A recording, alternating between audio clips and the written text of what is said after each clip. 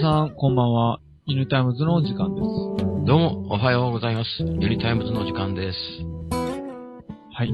えー、ね、最近、もう寒なってきて、ほんまもう年末にね、すれてね、なんか結構体調を壊してる人が、やっぱり周りにすごく多くてですね、やっぱもう、師走言うてね、みんなバタバタしてるんですかね。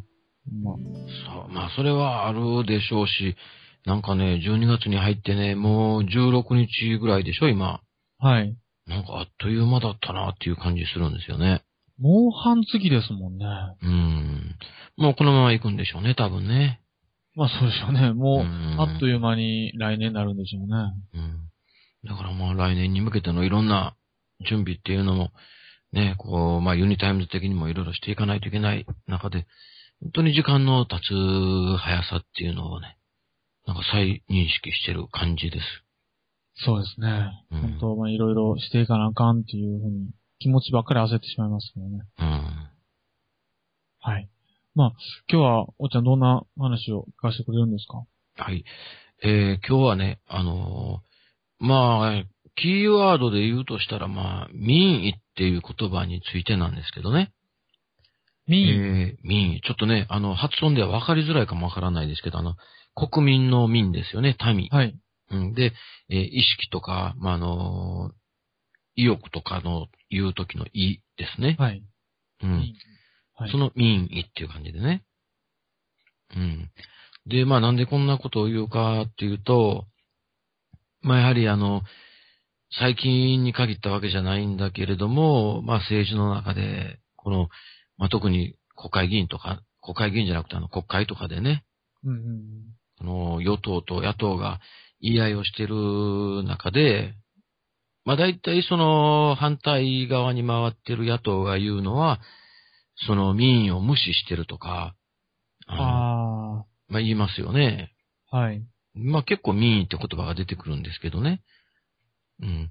で、そこでだから、あのもう少しみんなと一緒にですね、その、まあ民意っていう言葉は本当に正しい使い方なのかなっていうようなところをちょっと考えてみたいと思ったんですよ。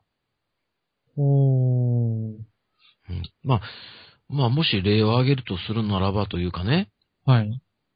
えーまあその今の安倍政権っていうところから言うと、その、まあ安倍政権を支持している国民もいるわけですよね。はい。で、それからあの、安倍政権に反対している人たち、まあこれは、えーまあおおむねその野党に多いわけですけど、うんうんうん。でも国会で、まあそういったあの予算会議とかもそうですけど、質疑の時にね、えー民意の、あ、民意のというか民意を無視しているとか、はそういうようなはことをね、言いますよね、よくね。よく聞きますね。うん。まあその時にね、だから、あの、民意を本当に無視しているのだろうか、あるいは、どういう意味で民意と言ってるのかっていうことを、まああの、皆さんにもう一度ね、見ていきたいと。皆さんにもう一度見ていきたいという日本語もね、まあ民意に反しているような日本語ですね、これはね。っていうか い、や、はい。あのー、イエスもあり、マイナスもあるのにっていう話ですかね。うん。まあ、あの、まあ、本当はね、さらにね、もう、あの、まあ、まだ一つ目の意見というか主張というか結論というか言ってないんですけど、はい。まあ、言いたいことっていうのは二つあるんですけどね。はい。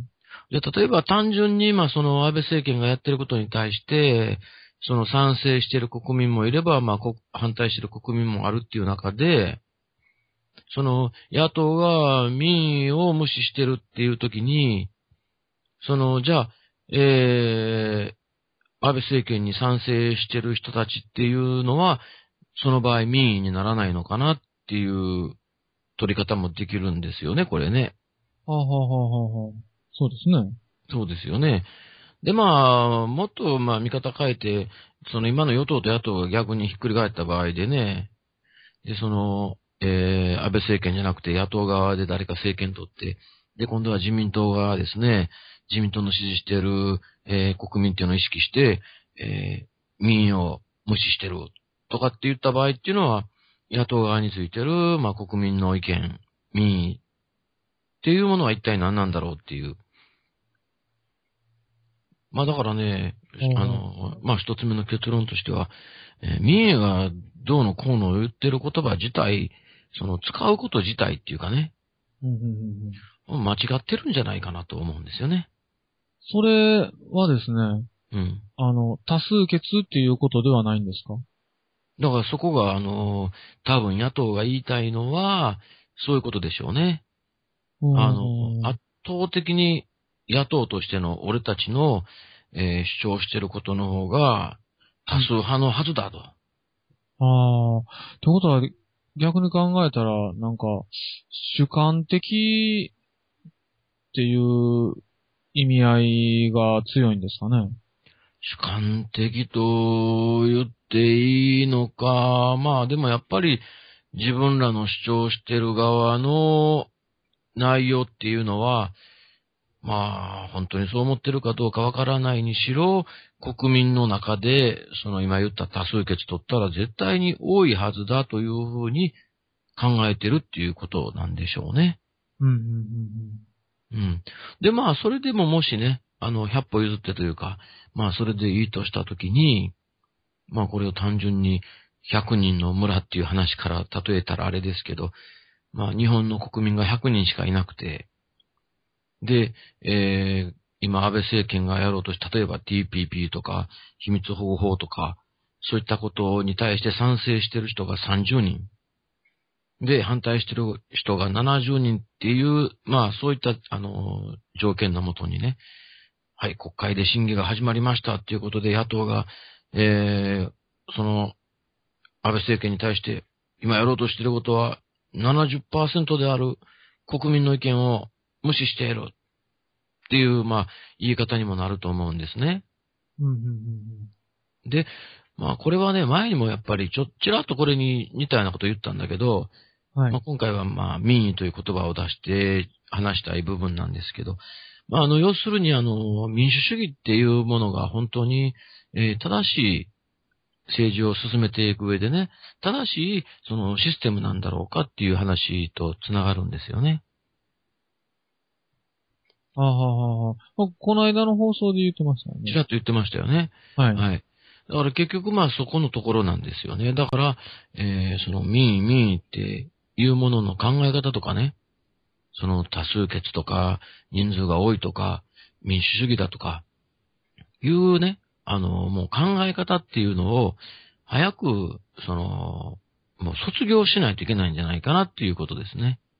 うん、うん、うん、うん。だから決してその民主主義っていうものが、あの、正しいわけじゃないっていうことを、もうとにかくこの骨身に染みてというかね、あの、知らないといけないし、感じてほしいなと思いますし、もう国会で民意などという言葉をもう言うなよ的な感じっていうか、うん。うん、うん、うん。うん。それこそ結構多くの人がそう思ってるんじゃないですかね。まあ、あ要するにもうその民意なんていうものはとか、えー民主主義というものはっていうことですかね。そうですね。もう、あの、多数決言うても、まあ、今回のね、あの、秘密保護法とかでも、あの、まあ、秘密法に限らず、その選挙とかでも毎回、なんかその操作されてるとかって言ってこれは嘘だみたいなことを言われるじゃないですか。はいはい。だからもうそういった意味においても、なんか、もう多数決言うても、そんなんほんまに多数決かわからんやん、みたいなね。うん、まあもちろんそれもありますよね。うん。結局言ってても操作されてたら、まあ一部の人間の、まあ、その策略というか、そっちの方に進めていく、あるいは進めていってるっていうことでっていうことですね。うん。そうなんですよ。それは、まあただ、はいあれですよね。そこであの、ただその進めてる方向が正しければ、これは全然問題ないわけだけども、うんうんうんうん。やっぱり時として間違うこともあるわけですよね。それ判断するのも結構難しいですよね。うん。で、なんで間違うことあるかっていうことに対してよく、それはもう人間なんだから仕方ないだろうっていうところに、もうすでに答えを言ってるわけですけどね、人間は。うんうんうんだから何かって言ったら、もうあの人間を中心として人間に任せていたらいい時もあるかもしれないけど、間違う時もあるんだということをもう明確に自覚してるという、まあそういう意見なわけですね。人間なんだからっていうのはね。そうですね。うん。そしたら、いよいよもうユニタイムズの登場みたいな感じでですね。うん。まあでももう本当にそういう時代だなっていうことでね。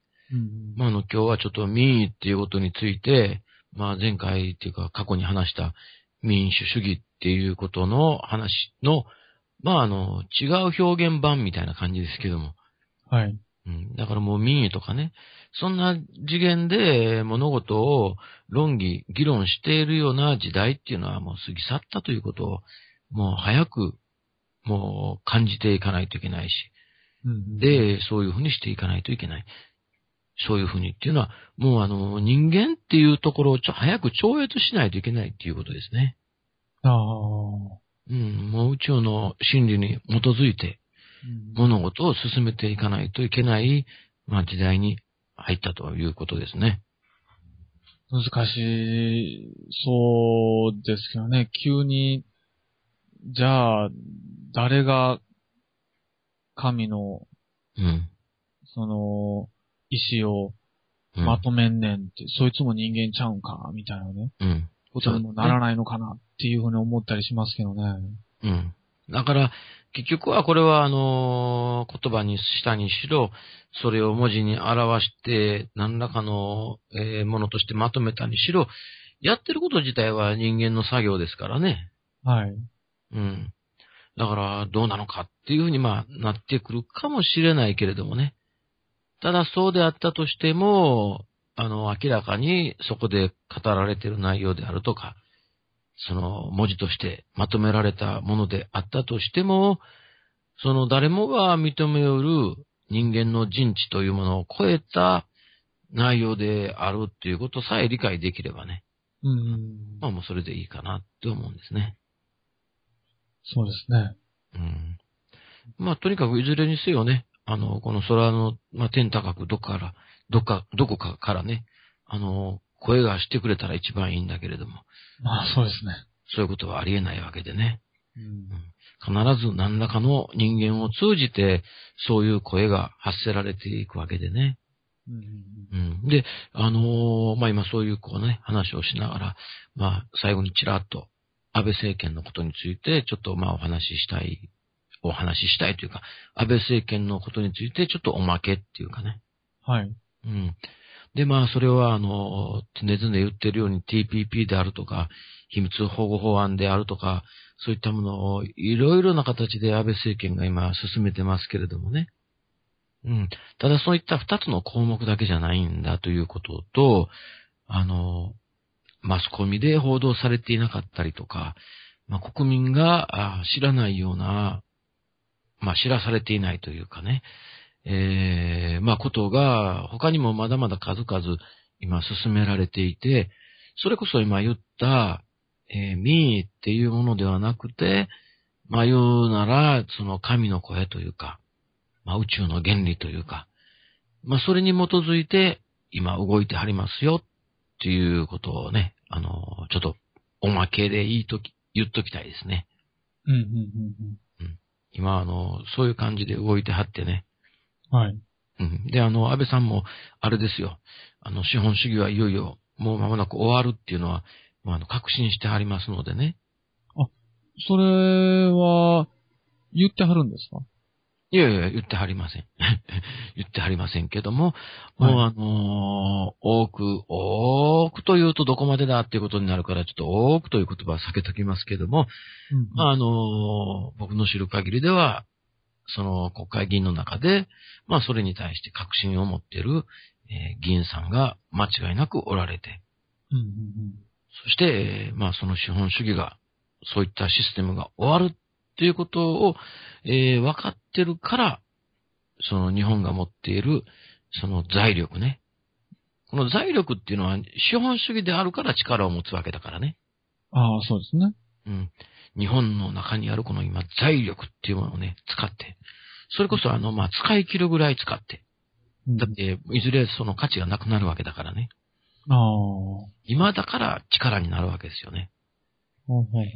その財力をね、今フルに使ってね、その、これから向かおうとする神の方向性のためにね、えー様々なその布石を、あの、売ってるので、まだまだ信じていいんじゃないかなっていうことですね。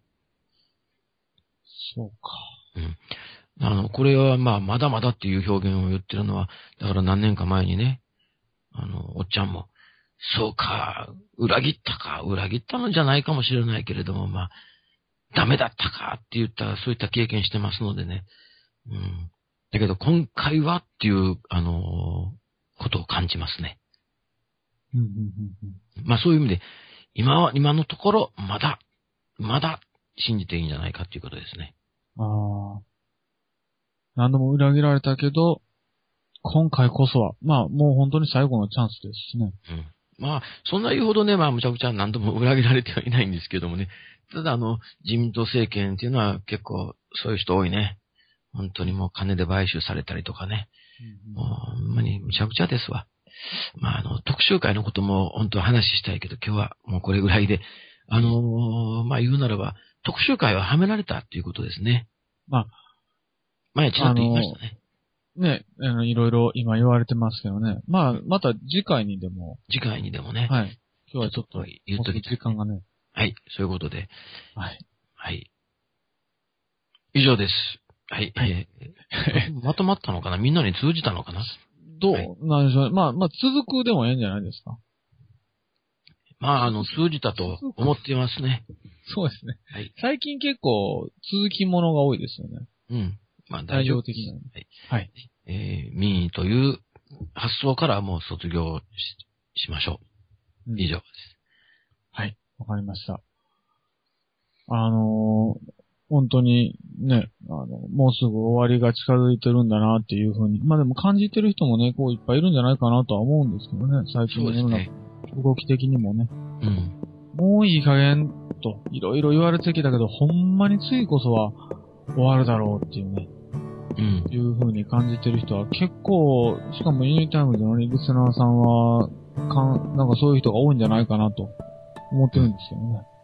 はい。どうでしょう。はい。それじゃあ、あの、番組への宛先を言っておきます。えー、っとですね。info アットマーク unimix.jp info アットマーク unimix.jp までお願いします。あの、おっちゃんへのね、あの、リクエストとか、ご意見、ご感想、まあ、あの、番組へのね、ご意見、ご感想、もちろん構わないので、こちらの方にお送りください。はい。はい。それじゃあ、ユニタイムズこの辺で終わりたいと思います。また次回お会いしましょう。皆さん、さよなら。どうも、さよなら。